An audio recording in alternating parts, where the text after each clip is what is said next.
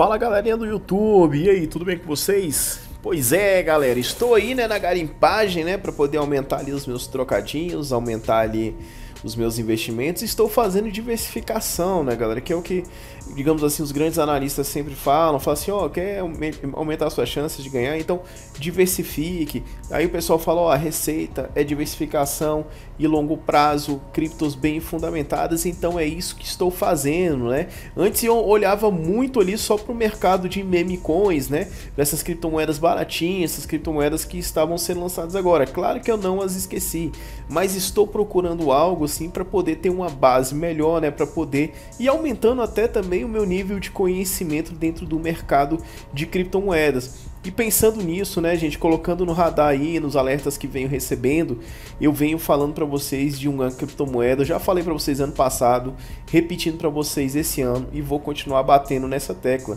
porque ela vai crescer muito. Estou falando aí, gente, da nossa querida CRO novamente, tá? Crypto.com, que hoje está em 18º lugar, tá? Você vê aqui, ó, CRO em 18º lugar, descendo aqui para mostrar para vocês, é 0.45 Cronos CRO, você vê hoje o BNB aí, ó, em, 10, em quarto lugar, sendo cotado a 411, enquanto CRO está sendo cotado a 45 centavos. Olha, pelo andar da carruagem, por tudo que está acontecendo aí dessa movimentação lá dentro da Crypto.com, vejo ela com a possibilidade de valorização muito grande no longo prazo e alguns analistas falarem até em 100 vezes o valor atual, né? Então chegaria o que chegaria o que na casa de 45 dólares ali. Ela não tem o supply tão alto, vocês veem o supply dela hoje na casa de 30 bilhões 263 mil. É, olha só, 30 bilhões, 263 milhões, 13.692 tokens aí, né? Você vê que realmente é, é, um projeto, digamos assim, que tem fundamento, ela tem é, caso de uso aí, né, dentro do mundo. Então é realmente algo para nós observar, observarmos. Se vocês observarem também aqui o market cap aí da CRO, ele vem aumentando bastante, tá? Desde ali ao finalzinho de, do, desse primeiro semestre de 2020. Depois disso, ó, ela veio dando uma estilingada aí, tá? E chegou a bater, galera, aqui, ó, conforme vocês podem ver, casa de 22 bilhões 750 milhões aí em 22 do 11 de 2021. Depois ela fez uma ela deu uma forte corrigida aí, de acordo com o mercado de criptomoedas, mas está em ascensão, né? Agora o gráfico dela está inclinando realmente aí para cima, apontando para cima, sinal de que vem aumento de market cap, vindo aumento aí de market cap, nós temos aumento ali, né, da cotação do preço da nossa querida CRO. Olha o gráfico dela aqui hoje também, ó, conforme vocês podem observar.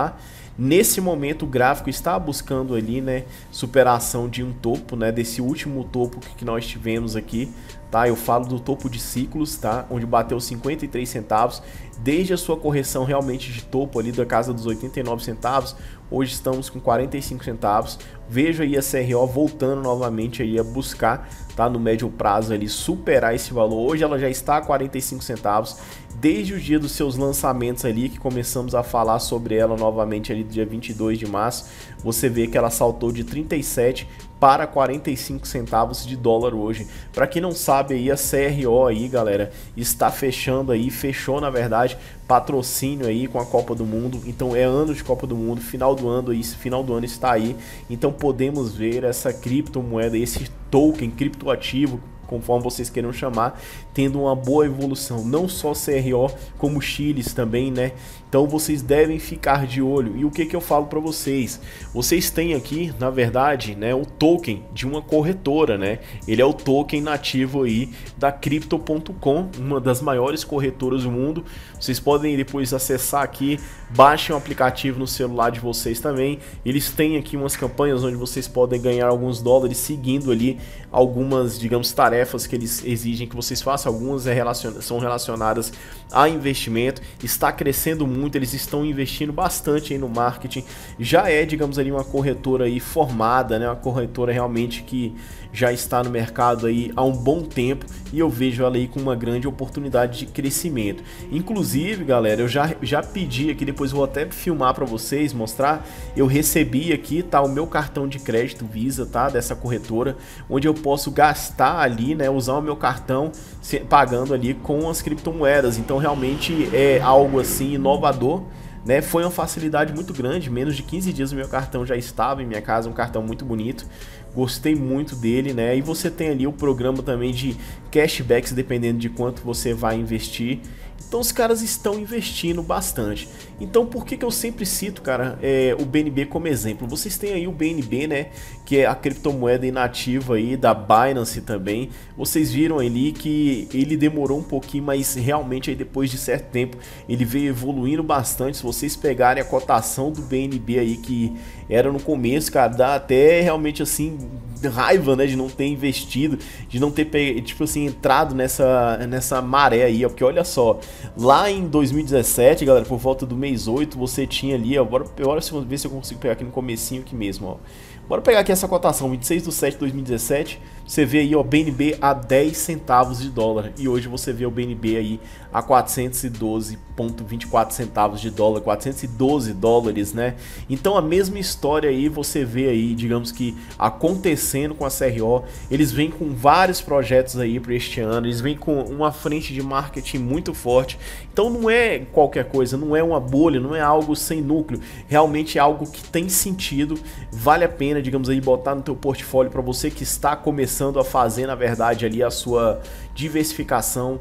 Então é aquele negócio, galera, vocês sempre devem procurar diversificar, procurar ter paciência e buscar o longo prazo. Então se você está procurando algo aí para complementar a sua carteira, na minha opinião, tá? Cronos aí, o CRO seria uma boa oportunidade para você ter, digamos ali, um retorno no longo prazo. Vocês podem ver que agora ela já está começando novamente a subir aqui, tá? Mas eu falo aqui neste ciclo, né? Vamos, vamos abrir ela aqui, ó, dentro do próprio gráfico dela. Vamos pegar aqui o gráfico semanal. Gosto muito de olhar aqui o gráfico semanal para vocês.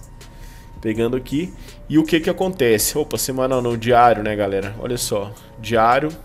Vamos pegar o gráfico semanal aí, ó. Olha aí, o gráfico semanal tá? Ela vai fazer provavelmente esse topo aqui novamente, né? Ela vem, busca um topo e depois desce novamente, fazendo essa movimentação, ó. Vocês podem perceber que é padrão dela fazer isso aqui. Fez movimento de correção desde o seu topo ali de 75, né? Ela fez um pico ali que bateu 93 e depois disso aí ela veio, né, corrigindo.